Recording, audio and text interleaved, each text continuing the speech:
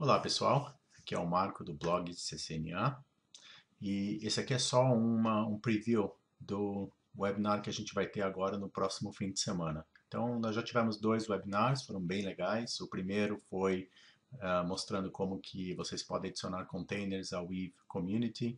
Uh, o segundo foi como montar uma VPN para acessar o seu ambiente uh, interno de laboratório, no ambiente da sua casa, ou mesmo para acessar os elementos da sua casa de fora.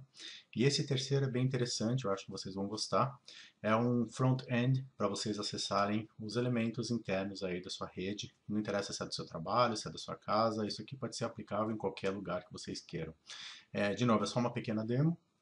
A ideia aqui é mostrar o que, que a gente vai discutir no próximo webinar e eu vou mostrar para vocês então como implementar essa solução, que é bastante legal e eu tenho usado ela já há bastante tempo.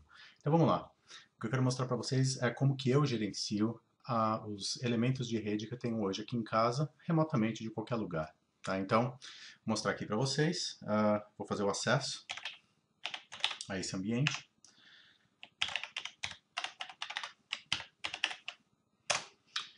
E uma vez que eu acesso ele, eu tenho essa interface web, é tudo via uh, HTML5, então não tem cliente envolvido, vocês não têm que instalar nada, uma vez que esse, essa infraestrutura, essa arquitetura esteja uh, funcionando dentro da rede de vocês, vocês então podem montar isso do jeito que vocês quiserem para ter acesso a todos os elementos de rede. Então aqui eu tenho, por exemplo, elementos uh, da minha empresa, né? Então tenho o próprio blog que ainda está dentro da Cloud Campus, mas ele seria na verdade dentro de projetos, eu vou realocar ele, vou até mostrar para vocês agora como fazer isso. Né? Então eu posso vir aqui, eu venho em Settings, eu venho em Connections, aqui dentro de Cloud Campus eu seleciono a conexão que eu quero, aqui vocês têm todas as, as diretrizes da conexão em si, endereço IP, senhas, etc.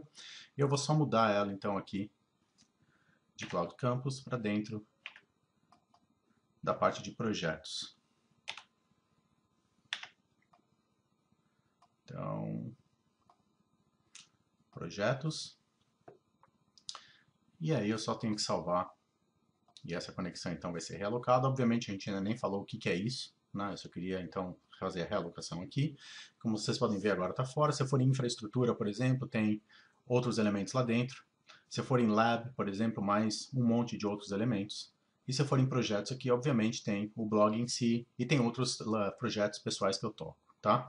Então, uh, para mostrar para vocês, por exemplo, se eu quiser checar aqui, vamos na parte de infraestrutura, tem um Big IP rodando aqui, né? quero acessar a CLI desse Big IP, como que eu faço? Eu só clico nele e, pum, eu tenho então acesso à CLI do meu Big IP. Voltando aqui, quero acessar, por exemplo, na parte de infraestrutura, um roteador Cisco que eu tenho aqui em casa. Clico aqui, pum, pronto, tenho acesso então à CLI do meu roteador Cisco. Voltando aqui, quero acessar, por exemplo, dentro de Lab. Uh, eu tenho então, por exemplo, aqui o... Vamos acessar um Kali Linux, por exemplo. Né? Uma máquina que está rodando dentro do meu ambiente de laboratório. Clico aqui e, pum, tudo em cima do browser. Eu não tenho que fazer nada, não tem instalação de cliente, não tem nada. Eu consigo gerenciar tudo com um único login, eu tenho acesso total à minha rede. Obviamente que se você vai deixar isso ser acessado de fora, você tem que ter uma série de proteções aí é, para evitar, por exemplo, que alguém é, possa é, ter esse acesso, porque uma vez que a pessoa tem acesso ao seu login e senha, obviamente ela tem acesso a tudo, basicamente, que você tem aí configurado nesse ambiente, certo? Então, só para mostrar para vocês aqui como uma coisa funciona, então eu estou dentro do Kali Linux aqui, posso abrir uma console dentro do Linux, né? Então, tenho tudo aí, tá bom? Fechar aqui, vamos fechar aqui também, vamos dar um back, o que mais que eu tenho aqui dentro? Vocês veem que quando eu vou abrindo, né, os ambientes, eles vão ficando dentro dos, desses... Uh, snapshots, aqui não é snapshots, como que é o nome disso? É thumbnails, né?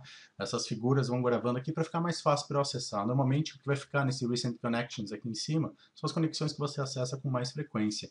Então, se eu for aqui, por exemplo, uh, de novo em infraestrutura, deixa eu ver o que eu tenho aqui, tenho o meu storage, por exemplo, que eu tenho acesso por aqui também, né? Enfim, tudo o que é baseado em uh, ah, SSH, RDP, VNC ou Telnet, você pode incluir dentro desse ambiente de uma forma bem simples de configurar. É bem fácil de instalar e isso que eu vou mostrar para vocês então no próximo webinar.